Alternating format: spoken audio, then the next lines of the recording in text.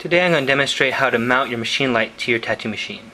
As you can see here, I already have my light pre-mounted to my tattoo machine. The light will only work when the machine is on.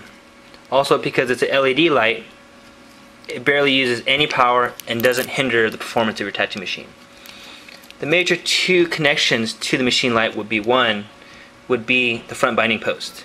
This is where the machine light anchor is connected to and basically where its support is. Also, you have a secondary plug, which is alligator clip, which will clip into your clip cord.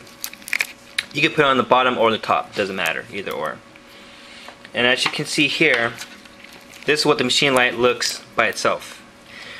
When you mount your machine light anchor to the front binding post, we suggest that you place them in between the two washers located on your front binding post.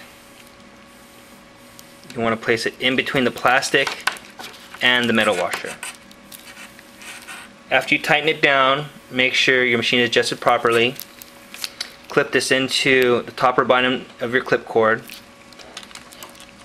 and then your machine will be mounted and ready to use. We also have this light in LED and UV light. UV light when you're using black light ink.